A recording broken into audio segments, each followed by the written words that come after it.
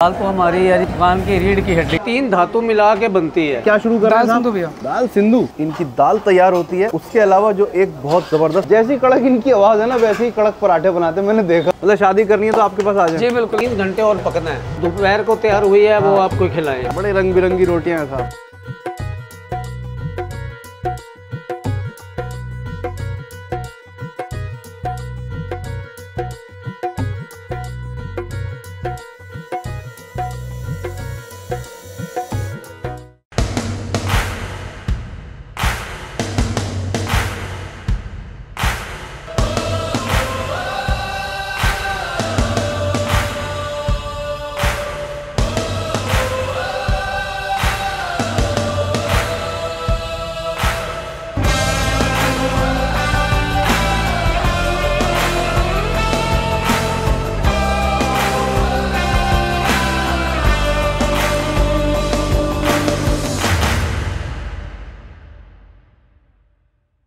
सारा दिन के स्ट्रीट फ़ूड खाने के बाद अब डिनर का टाइम है और डिनर होगा हमारा सागर वैष्णो ढाबा पे, क्योंकि यहाँ के खाने हमें बहुत पसंद है। बास बाज़ार में है अम्बाला में है। सागर वैष्णो ढाबे पर हम आ चुके हैं। रोटियों के थोपे जाने की आवाज़ें आने लगी हैं। कुछ बघारों की खुशबुएँ नाक तक पहुँचने लगी हैं। अंदर चल के देखते हैं क्या क्या चल रहा है इस किचन में।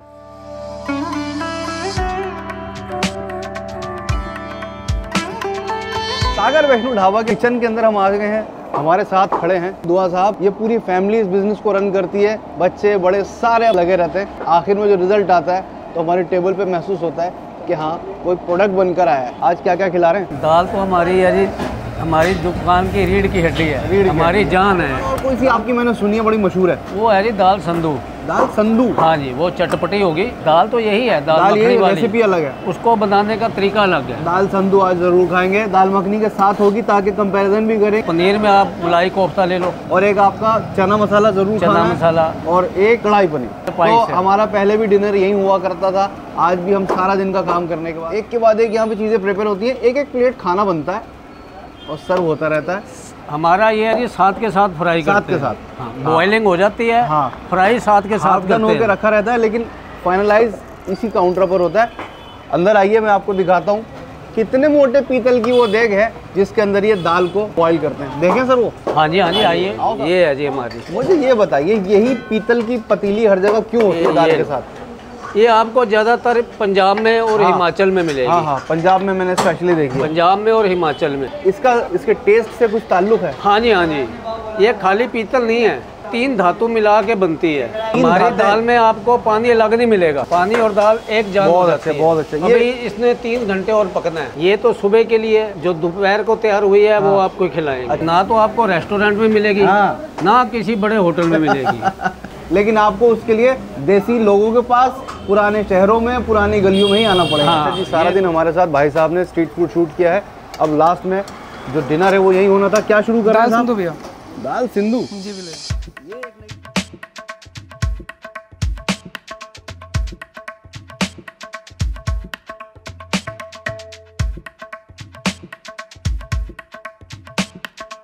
सी क्रीम डलेगी भैया क्रीम डल रही है उससे पहले इन्होंने उसको खूब सारा भूना है भूनते भूनते इसका कलर चेंज हो गया और उसके ऊपर से आ गई इसमें क्रीम अब इसकी ऑलमोस्ट डाल गई। गई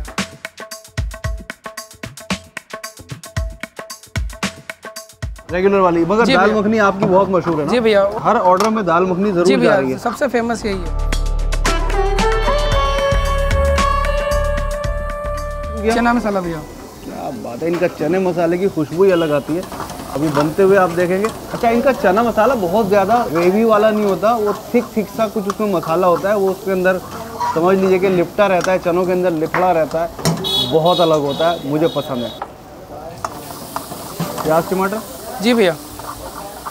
ये बॉइल्ड चना है ना? जी भैया। काबुली चना। काबुली चना जिसको ट्रिपल डॉलर बोला जाता है भैया। ट्रिपल डॉलर जी भैया। ब्रांड है इसका। हाँ जी।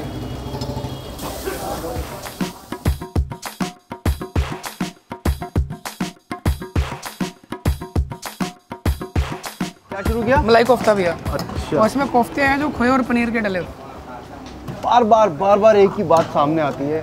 खास बात यही है कि ये पूरी फैमिली इस पूरे काम को अपने हाथों से कंट्रोल करती है। इनको सबको सब काम आते हैं इनके बड़ों को भी इनके लड़कों को भी।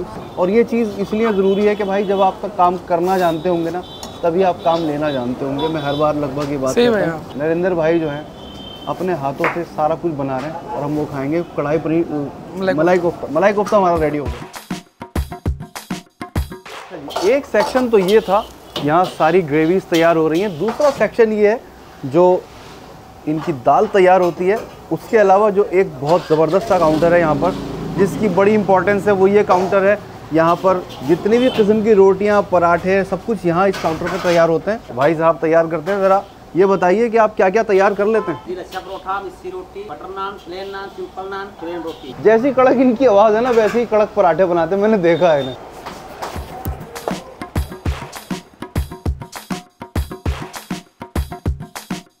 ये क्या रखा हुआ है? ये भैया कैटरिंग के लिए अच्छा ये डिशेज हैं बड़ी बड़ी हाँ जी बड़ी बड़ी खाना जैसे गर्म कंटेनर है। शादी ब्याह के लिए जाता तो है किसी ने शादी का अरेंजमेंट कराना है, हाँ सब हो हाँ। जाएगा। मतलब शादी करनी है तो आपके पास आ जाए। जी बिल्कुल भैया। चलिए ठीक है। खाने के लिए। बड़े रंग बिरंगी रोटियाँ हैं साहब।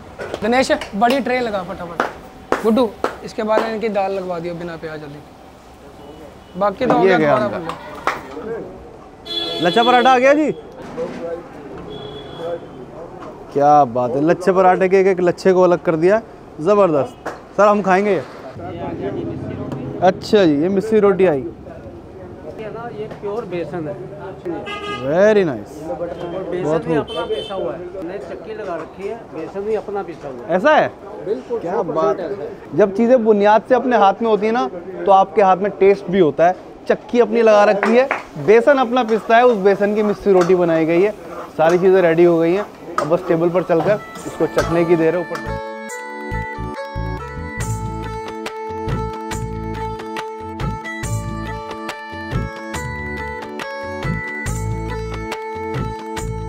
से। हमारे आई हैं, एक बार यहाँ पे उसको देख लेते हैं। इनका चना मसाला आया है, मलाई कोफ्ता आया है, कढ़ाई पनीर आया है, दाल संधू आई है, दाल संधू का रंग अलग है और ये दाल मखनी आ गई।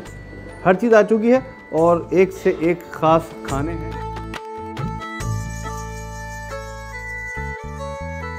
अच्छा इन सब खानों को खाने के लिए रोटियाँ आई हैं तीन तरह की, एक बटर नान, एक मिस्सी रोटी और, एक लच्छा पराठा। शुरू करें, क्योंकि ये खाना जो है आगे लग चुका है और अब लगने के बाद ज़रा मुश्किल ही होता है, इसको देखते रहना। शुरुआत करेंगे दाल संधू से। दाल संधू इन्होंने मुझे बताया था कि थोड़ी सी चटपटी होती है, थोड़ी सी रेसिपी अलग होती है। तो दाल संधू क्योंकि हमारे लिए बिल्कुल नया टेस्ट है, इसलिए हम इसको लेंगे सिंपल से बटर नान से, और देखते हैं। ये दाल संधू हमसे क्या कहती है? इन्होंने इसमें ना पनीर भी मैश करके डाला था। अम्बाला में है, बाँस बाज़ार में है, सागर वैष्णो ढाबा पर हैं, और ये खाने बड़े ज़बरदस्त हैं, बिस्मिल्लाह। बिल्कुल अलग जायका है। बहुत डिफरेंट है। जो दाल मखनी है, बनाते हैं, उससे ये बिल्कुल अलग है। प्योर खाने हैं, प्योर। अपनी असली हालत में। नेक्स्ट आइटम लेते हैं। इसके फ़ौरन बाद हम लेंगे दाल मखनी, ताकि हमें इसका और ज़्यादा कट होकर जायका पता लगे, ये मालूम हो कि कंपैरिजन में ये कहाँ ठहरती है। बटर नान से ही लेते हैं। हाँ हाँ क्या बात है। ये भरपूर सा निवाला दाल मखनी का तकरीबन 12 घंटे पक्की है। उस बड़े से देग में, जो हम सोचते हैं कि पीतल का है, लेकिन उसमें उन्होंने बताया, तीन धातें मिक्स होती हैं। दाल मखनी, अपनी जगह आप है, इसकी जगह दाल संधू नहीं ले सकती। अगर आपको कोई डिफरेंट खाना है तो आप वो ज़रूर खाइएगा। अदरवाइज़ ये ज़बरदस्त नेक्स्ट आइटम है इनकी इनकी ये कढ़ाई पनीर। कढ़ाई पनीर बनते हुए भी बहुत ज़बरदस्त खुशबू आ रही थी और इस वक्त सामने रखा है और इसको हम लेंगे लच्छा पराठा से। ये इनका लच्छा पराठा। तो लच्छा पराठा के साथ कढ़ाई पनीर क्या कहता है? इसी से पूछ लेते हैं। ये बड़ी गनीमत की बात है कि इस वक्त यहाँ थोड़ा सा रश कम है। हम फैमिली सेक्शन में बैठे हैं। यहाँ पे सिर्फ़ फैमिलीज़ को बैठने की इजाज़त है। मैंने इनसे स्पेशल परमिशन लेके यहाँ क्योंकि मुझे थोड़ा सा सुकून चाहिए था। ये है हमारे हाथ में कढ़ाई पनीर। हम्म, इसका जवाब नहीं है। ये बहुत अच्छा। खुशबुएँ अलग हैं इसमें। तो कढ़ाई पनीर, इनके जैसा कढ़ाई पनीर तो नहीं खाया मैंने। इन्हीं वाला जज्बात में बड़ा हो गया था। अच्छा इनका चना मसाला बिल्कुल लास्ट में खाएँगे। उसका जायका सब चीज़ों से अलग होता है। फ़िलहाल लेते हैं ये मलाई कोफ्ता, जो लास्ट टाइम हमने नहीं खाया था। इसकी ग्रेवी का कलर भी बहुत अलग है। ये खोए के और पनीर के मिक्स कोफ्ते होते हैं छोटे छोटे से। उसको मलाई कोफ्ता कहते हैं। इस लच्छा पराठा से खाकर देखेंगे। ये मलाई कोफ्ता है, सागर वैष्णो ढाबे का है। अम्बाला में है, फ़िलहाल हमारे हाथ में है। टेबल पर सामने रखा है और खुशबुएँ छोड़ रहा है। फ़िलहाल जबान के सेंसर्स पे इस निवाले को रखते हैं और सारे सेंसर्स को एक्टिवेट करके कहते हैं, हमें इसका जायका बताइए। बिस्मिल्लाह। कलाई कोफ्ता हमेशा आपको थोड़ा सा स्वीट और थोड़ा सा नमकीन टाइप मिलेगा। उसी का जैसा मज़ा है, जब आप इसको चबाते हैं, अंदर से मीठा निकलता है ग्रेवी इसकी थोड़े से मसालों वाली होती है तो एक कॉम्बिनेशन का स्पार्क होता है। ये होता है मलाई कोफ्ता। पर्सनली थोड़ा सा कम अच्छा लगता है। लेकिन जब आप चीज़ों को टेस्ट करते हैं तो आपको उससे असल तारुफ होता है। रह गया हमारा चना मसाला। ये चना मसाला थोड़ा सा डिफरेंट इसलिए होता है कि आम तौर पे आपने देखा होगा, चना मसाला ग्रेवी वाला होता है, लेकिन यहाँ इनकी थोड़ी सी थिक थिक सी ग्रेवी होती है। और मतलब कह लीजिए कि थोड़ा ड्रायर साइड पे होता है, लेकिन इसके अंदर बहुत अलग जायके होते हैं। वेज खाने को अगर उसका हक अदा करके बनाया जाए तो वो सबको पीछे छोड़ देते हैं। तो अब रह गई हमारी मिस्सी रोटी।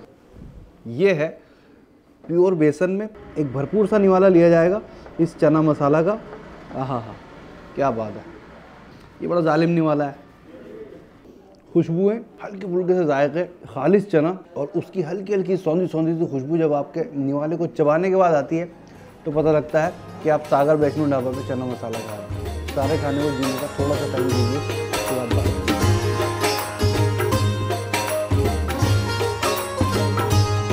जो पूरा दिन हमारा गुजरा है, जायकों में उलझ के गुजरा है, जायकों से गुजर के गुजरा है और इसका आखिर हुआ है बाँस बाज़ार के सागर वैष्णो ढाबे पे। तो इन पूरे दिन के जायकों के साथ बाँस बाज़ार से, सागर वैष्णो ढाबा से अम्बाला से मुझे यानी मोहम्मद यहाँ को इजाज़त दीजिए। बहुत बहुत शुक्रिया।